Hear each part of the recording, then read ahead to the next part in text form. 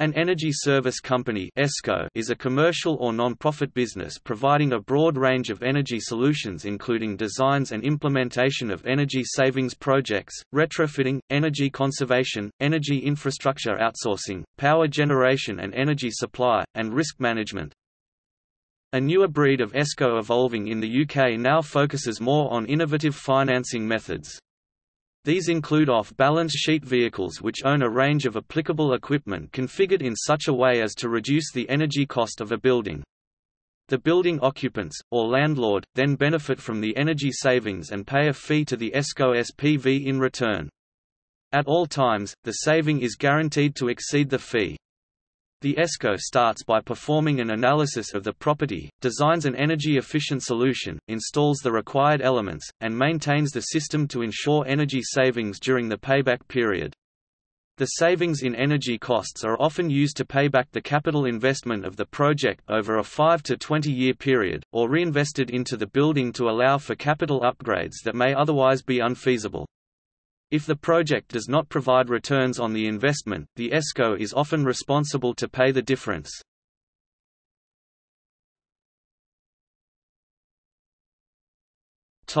History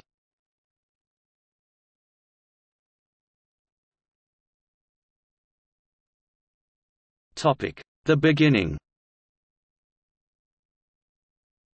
The start of the energy services business can be attributed to the energy crisis of the late 1970s, as entrepreneurs developed ways to combat the rise in energy costs.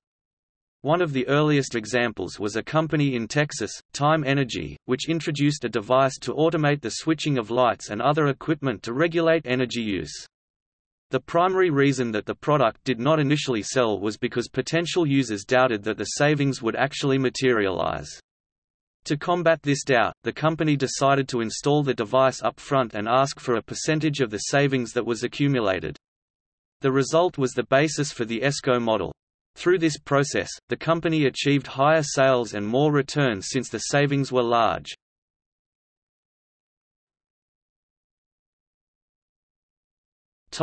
Industry growth through the 1970s and 1980s As more entrepreneurs saw this market grow, more companies came into creation. The first wave of ESCOs were often small divisions of large energy companies or small, upstart, independent companies. However, after the energy crisis came to an end, the companies had little leverage on potential clients to perform energy-saving projects, given the lower cost of energy. This prevented the growth experienced in the late 1970s from continuing. The industry grew slowly through the 1970s and 1980s, spurred by specialist firms such as Hospital Efficiency Corporation HEC Inc., established in 1982 to focus on the energy-intensive medical sector. HEC Inc., later renamed Select Energy Services, was acquired in 1990 by Northeast Utilities, and sold in 2006 to Ameresco.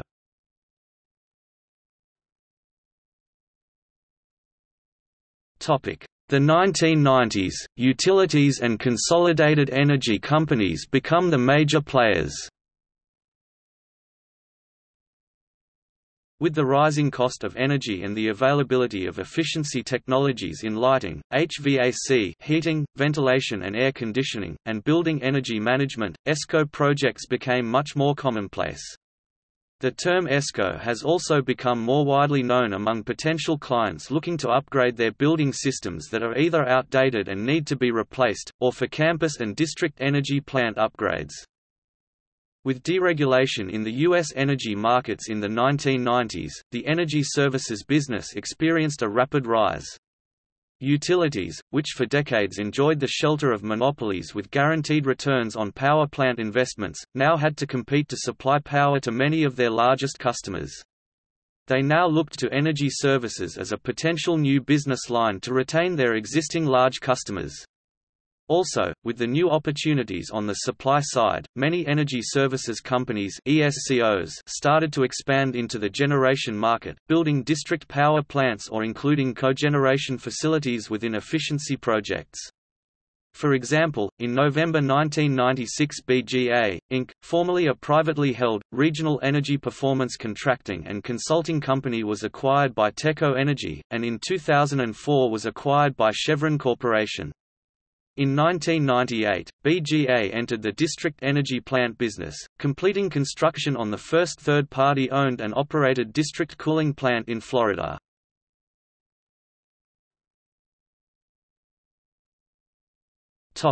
Decade of the 2000s, consolidation, exit of many utilities In the wake of the Enron collapse in 2001, and the sputtering or reverse of deregulation efforts, many utilities shut down or sold their energy services businesses. There was a significant consolidation among the remaining independent firms. According to the industry group NAESCO, revenues of ESCOs in the U.S. grew by 22% in 2006, reaching $3.6 billion.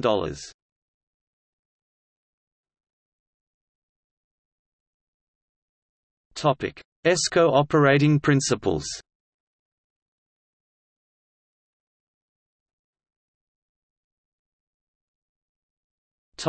Introduction.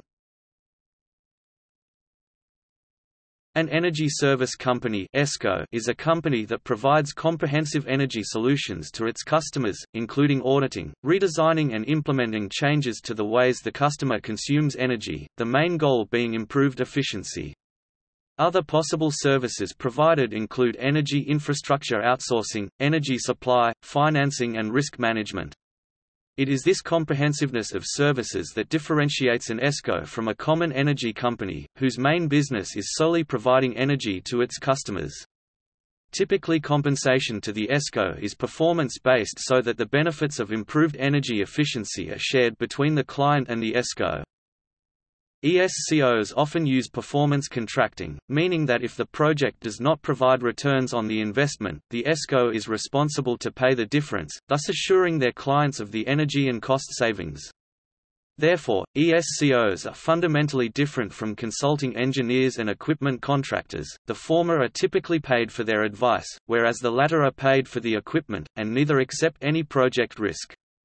The risk-free nature of the service the ESCOs provide offers a convincing incentive for their clients to invest. Some typical characteristic of ESCOs are as follows. Ownership – ESCOs may be privately owned companies, either independent or part of a large conglomerate, state-owned, non-profits, joint ventures, manufacturers or manufacturers' subsidiaries. Clients, ESCOs typically specialize on market niches by sector industries, utilities, real estate, etc. and by size large or small projects. Technology – Some ESCOs have a technological specialization e.g. lighting, HVAC, a particular industrial process whereas others are aimed for a holistic approach. Project financing – Financing capabilities vary with the financial situation of the ESCO. Some have large parent companies, which allows them to self-finance projects. However, all ESCOs rely to some extent on third-party financing. Topic developing a project The energy savings project often begins with the development of ideas that would generate energy savings, and in turn, cost savings. This task is usually the responsibility of the ESCO. The ESCO often approaches a potential client with a proposal of an energy savings project and a performance contract. This ESCO is said to drive the project. Once the owner is aware of the possibility of an energy savings project, he or she may choose to place it out for bid, or just stick with the original ESCO. During the initial period of research and investigation, an energy auditor from the ESCO surveys the site and reviews the project's systems to determine areas where cost savings are feasible, usually free of charge to the client. This is the energy audit, and the phase is often referred to as the feasibility study. A hypothesis of the potential project is developed by the client and the auditor, and then the ESCO's engineering development team expands upon and compiles solutions. This next phase is referred to as the engineering and design phase, which further defines the project and can provide more firm cost and savings estimates.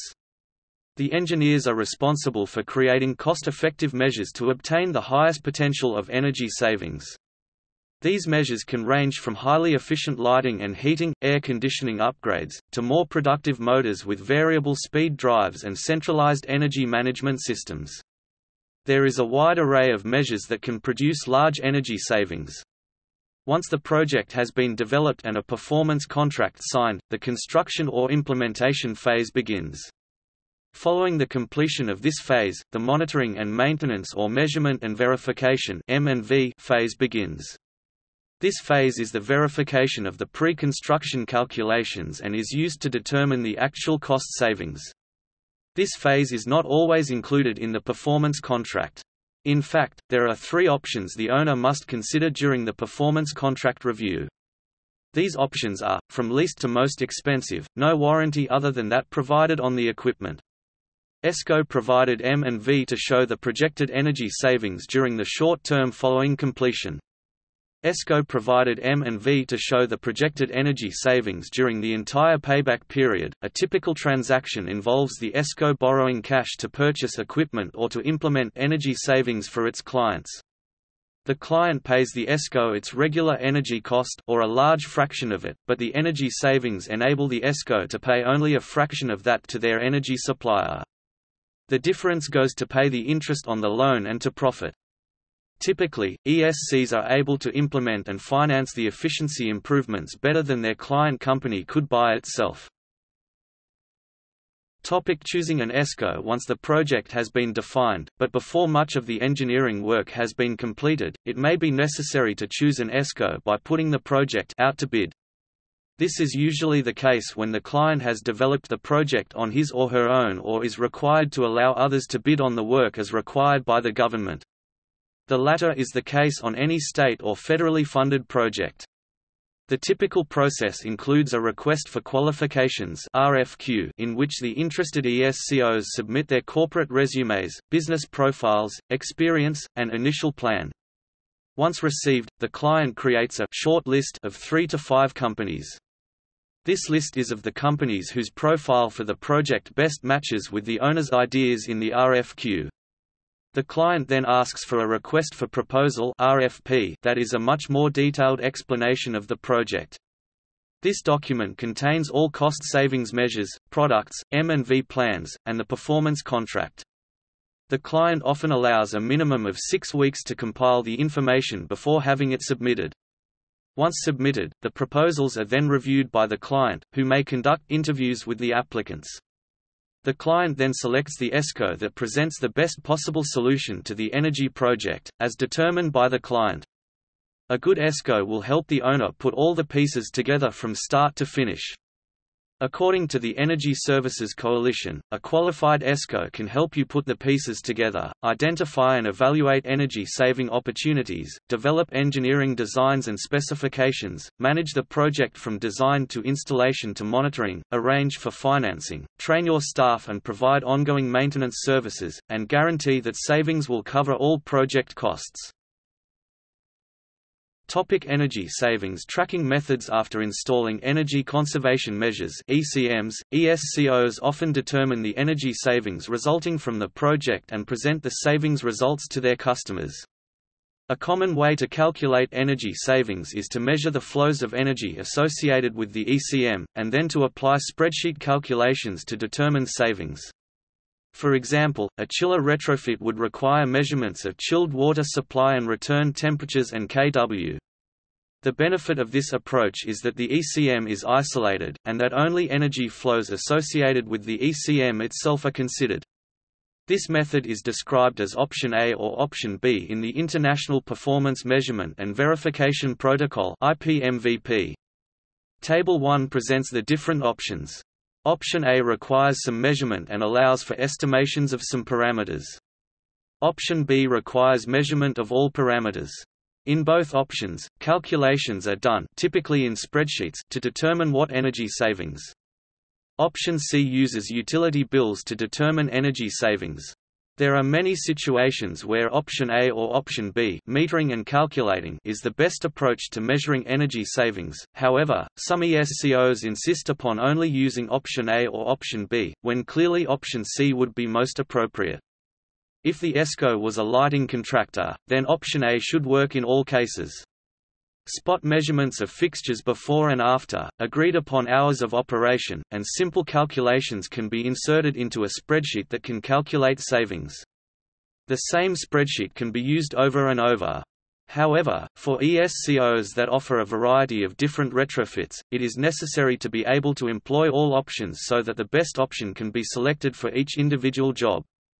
Controls retrofits, or retrofits to HVAC systems are typically excellent candidates for option C after installing the energy conservation measures ECMs, the savings created from the project must be determined.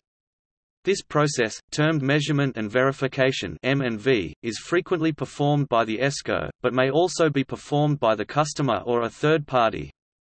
The International Performance Measurement and Verification Protocol is the standard M&V guideline for determining actual savings created by an energy management program. Because savings are the absence of energy use, they cannot be directly measured. IPMVP provides four methods for using measurement to reliably determine actual savings. A plan for applying the most appropriate of the four general methods to a specific project is typically created and agreed upon by all parties before implementation of the ECMs. IPMVP Option A – Retrofit isolation – Key parameter measurement savings are determined by field measurement of the key performance parameters which define the energy use of the ECM's affected systems. Parameters not selected for field measurement are estimated. IPMVP Option B – Retrofit isolation – All parameter measurement savings are determined by field measurement of the energy use of the ECM-affected system. IPMVP Option C – Whole facility savings are determined by measuring energy use at the whole facility or sub-facility level. IPMVP Option D – Calibrated simulation savings are determined through simulation of the energy use of the facility, or of a sub-facility. The simulation model must be calibrated so that it predicts an energy pattern that approximately matches actual metered data. Table 1 provides suggested IPMVP options for different project characteristics. For each project, an M&V approach which balances the uncertainty in achieved savings and the cost of the M&V plan should be selected. Some plans include only short-term verification approaches and others include repeated measurements for an extended period. Because the expense of determining the amount of savings achieved erodes the benefit of the savings themselves, IPMVP suggests not spending more than 10% of the expected savings on M&V. Often M&V approaches are bundled with other monitoring, support, or maintenance services that help achieve or ensure the savings performance. These costs should not be considered M&V expenses and depending on the project and services details, may greatly exceed 10% of the savings.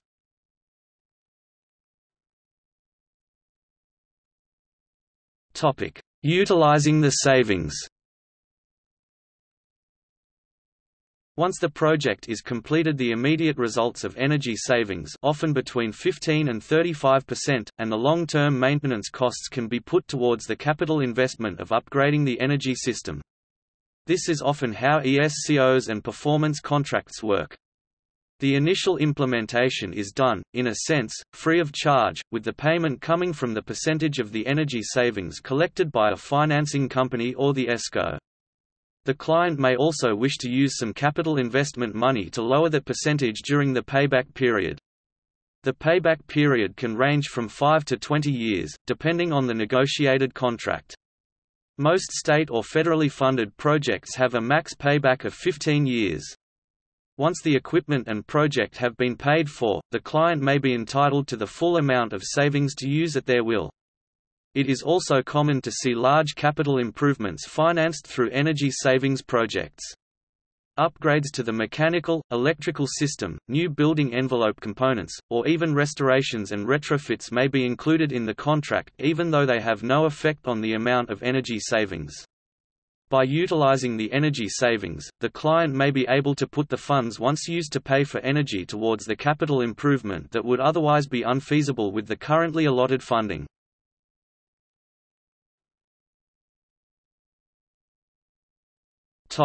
U.S. federal program, Super ESPC Since its creation in the 1990s, a single U.S. government program known as Super ESPC ESPC stands for Energy Savings Performance Contracts has been responsible for $2.9 billion in ESCO contracts. The program was modified and reauthorized in December 2008, and 16 firms were awarded indefinite delivery, indefinite quantity IDIQ contracts for up to $5 billion each, for total potential energy savings projects worth $80 billion. Grouping the 16 firms provides a convenient illustration of the industry structure and the ways that each firm generates value through projects that use the ESCO model of energy savings performance contracts. Equipment-affiliated firms use performance contracting as a sales channel for their products. Utility-affiliated firms offer ESCO projects as a value-added service to attract and retain large customers and generally focus only on their utility footprint. Non-utility energy services companies are product neutral, tend to have a larger geographic footprint, and typically offer a wide range of services from energy retrofits to renewable energy development. Equipment affiliated. NORESCO carrier. Honeywell Building Solutions says Johnson Controls Government Systems, LLC York. Schneider Electric. Siemens Government Services, Inc. Trane Utility affiliated. ConEdison Constellation. FPL Energy Services. Pepco Energy Services Energy Systems Group Non-Utility Energy Services. Ameresco Innovate, Exelon Services Federal Group, E3, APS Acquired. The Benham Companies, LLC SAIC acquired. Clark Energy Group LLC formerly Clark Realty Builders, LLC Lockheed Martin Services, Inc. McKinstry. Brewer Garrett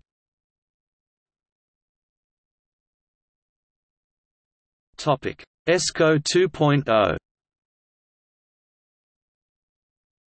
In June 2005, the GAO released a report, Energy Savings, Performance Contracts Offer Benefits, but vigilance is needed to protect government interests. The Office of the Under-Secretary of Defense for Technology, Acquisition, and Logistics agreed with the GAO findings. While these complicated contracts are structured to ensure that savings will exceed costs, the DOD noted, we recognize that our measurement and verification procedures must be improved to confirm estimates with actual data. Unverified savings, often stipulated rather than proven, do not put more oil in the ground, take CO2 out of the air or reduce operating budgets, the GAO ESPC study brings into question whether or not there is sufficient data to prove that the gains delivered by ESCOs are sustainable over time. The study further questions the practice of having ESCOs monitoring and validating the performance of their own projects. In fact, most buildings and facilities exhibit the same basic limitations with respect to energy conservation and optimum maintenance. U.S. federal studies show that major and minor building systems routinely fail to meet performance expectations, and these faults often go unnoticed over time. The functions of a building, the number of tenants, and the configuration of the space change over time in unanticipated manners that adversely affect the systems that control building performance.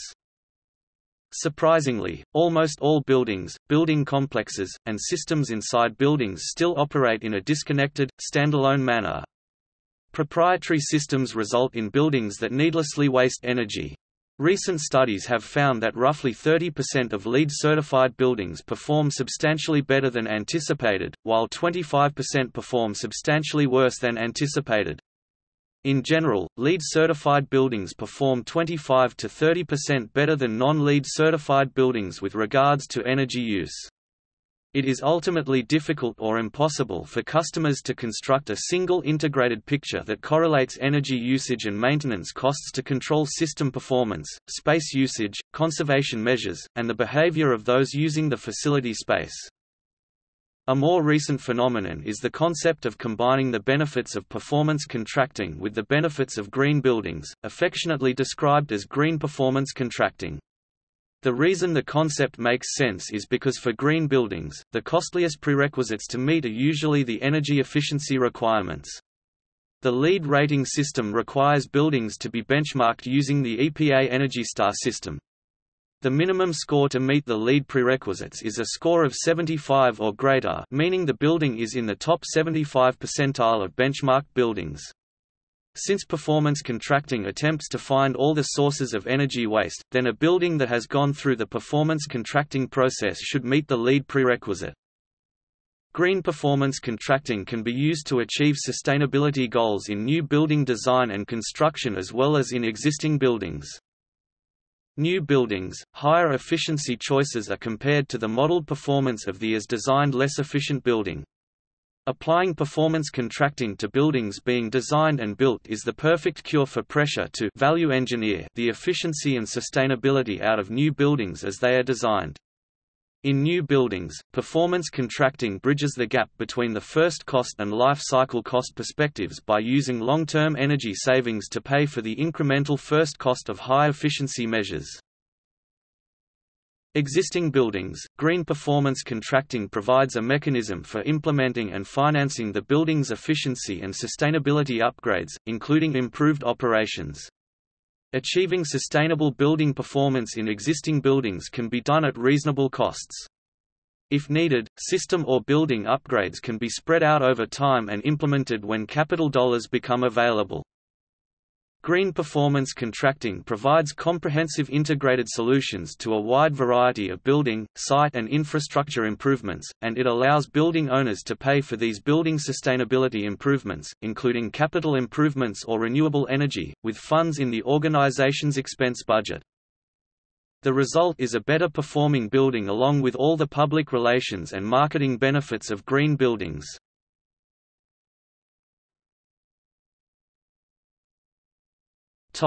Retro-commissioning Studies show that virtually every building suffers from incompletely installed control systems, excessive chilling and heating capacity, and an inability to obtain the data needed to let senior decision makers understand how a building is really performing. The National Institute of Standards and Technology NIST found that an average building lasts only two-thirds of its forecast life before it needs to be replaced or substantially retrofitted.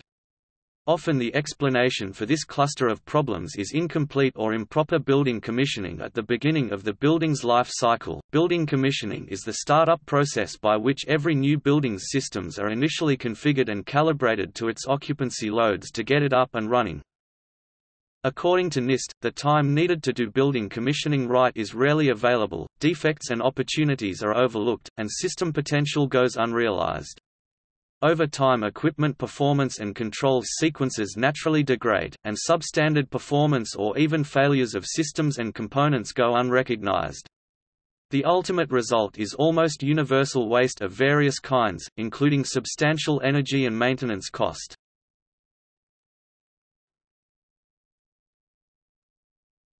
Topic: Independent measurement and verification.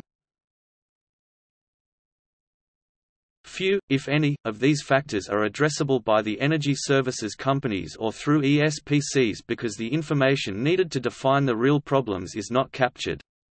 There is a clear need for integrated solutions that offer the kind of accountability and transparency and plenty of the actual data that is currently lacking in the ESPC process.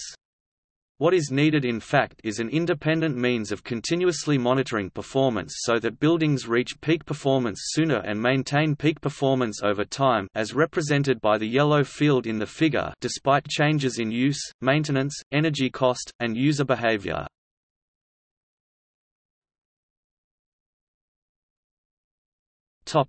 Key components of ESCO 2.0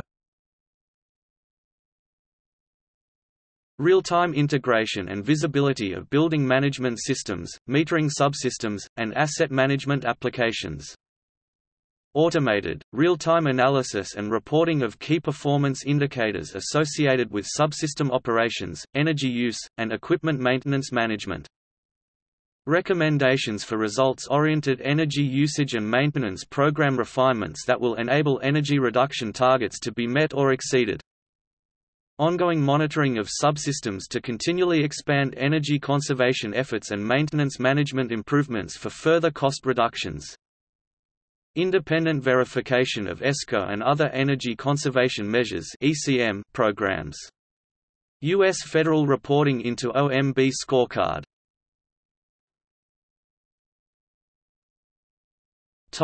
UK and European-based ESCOs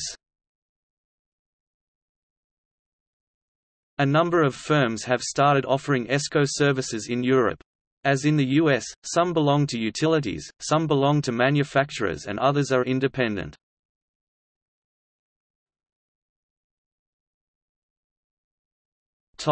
See also Efficient energy use Industrial Assessment Center RESCO, Renewable Energy Service Company